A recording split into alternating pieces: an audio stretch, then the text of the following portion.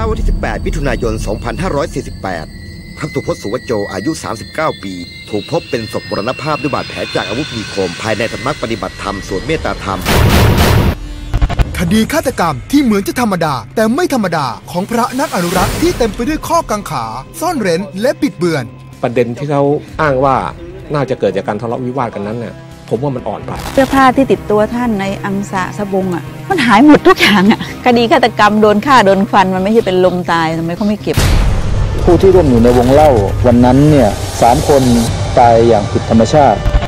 11 ปีที่แล้วคดียังมืดมนเต็มไปด้วยเงื่อนงำหลายคำถามยังเป็นปริศนา ที่แม้แต่กระบวนการยุติธรรมยังหาคำตอบไม่ได้ รวมติดตามคดีฆาตกรรม ที่ยังไร้คำตอบได้ในรายการข่าวดังข้ามเวลา ตอน พระสุพจน์ สุวโจ จันทร์ที่ 6 มิถุนายน3ทุ่มช่อง 9 m c o t HD และ Modern Night TV